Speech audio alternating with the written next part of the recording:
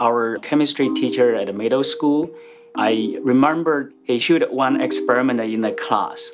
And he used the sodium put in the water, and the water with the sodium reacted very fast, then followed by the explosion. That's really dragged me into the world and what's happening there. You know, what is the reaction, or can we control it?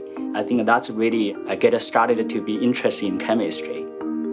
My current research is working on asymmetric catalysis. So basically, just uh, try to develop a technology method to access a chiral compound. We really contribute into a specific area we call catalytic asymmetric de-aromatization reaction. So for this type of reaction, uh, we want to convert commercially available and cheap material like planar compound without a chirality, then we can convert them to a three-dimensional molecule with a chirality. Chiral is actually the Greek word. It just means hand. So for a lot of organic compound, and they just like our hands, left hand and right hand, they are almost identical, but they are kind of superimposed to each other. My research is for asymmetric catalysis. We want to enable the transformation, but you just get one of them, and you try to eliminate another one. This is highly privileged in the drug discovery program. So that's why currently we have a collaboration with uh, uh, several international pharmaceutical company. As a professor working in academia, by reading the literature, we get some knowledge.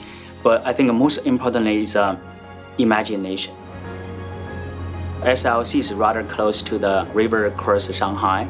So I run along the river. Sometimes I'll stop in the middle. A lot of things can inspire you. Sometimes you think something you, you couldn't get from the lab. The challenge is always, uh, um, always doing something new. But when you dig deeper, you don't have something to follow directly based on the literature. Everything is unknown. If you want to surprise uh, the community, you have to face something really much more challenging. Being chemist, organic chemist, you know, we can make things. We can really make something new, but uh, the challenge is always uh, to create something really benefit our society. Something like my job is, you know, you're always doing something new. We publish, then we move to the next target. And it's also unknown, also new. It's always exciting. I've been the associate editor since 2014. It's been a great experience. I get the privilege to learn things before they get published. Another benefit for ACS model is most associate editor, including myself, we're scientists working in the same field.